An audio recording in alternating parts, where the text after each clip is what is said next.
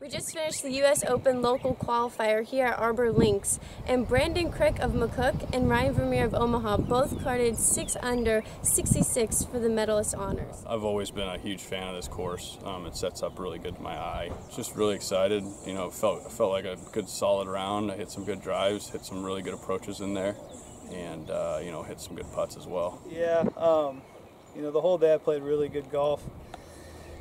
I got it actually to seven under par with five holes to go.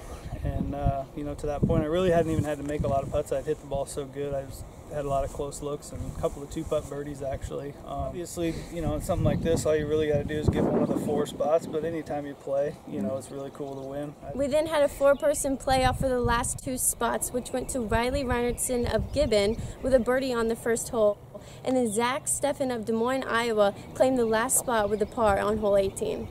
Our four qualifiers are Crick, Vermeer, Reinertson, and Steffen, who will be playing in one of 10 sectionals on June 6th.